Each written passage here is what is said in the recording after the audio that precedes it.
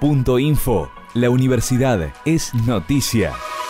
Vamos a continuar con un ejercicio de evacuación que se va a realizar en el campus Esperanza con la participación de las facultades de Ciencias Agrarias y Ciencias Veterinarias. Eh, vamos a, como les decía, a realizar un ejercicio de evacuación eh, del personal Vamos a también contar con la participación de las fuerzas vivas de la, ciudad de Esperanza, esto es municipalidad, eh, servicios de emergencia y fundamentalmente también eh, el cuerpo de bomberos voluntarios de la ciudad de Esperanza. Hay grupos específicos de cada, de cada unidad académica, de cada edificio que tienen roles, eh, roles definidos en el plan de autoprotección y después está la participación del público en general que generalmente tratamos de eh, definir un escenario donde ante una situación de emergencia hay un grupo que actúa y otro grupo que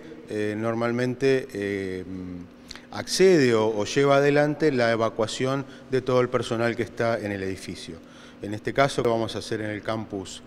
de Esperanza, van a participar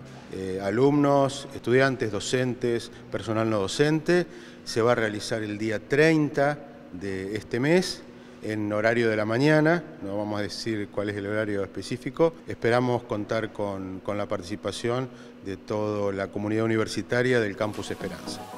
Más info en www.unl.edu.ar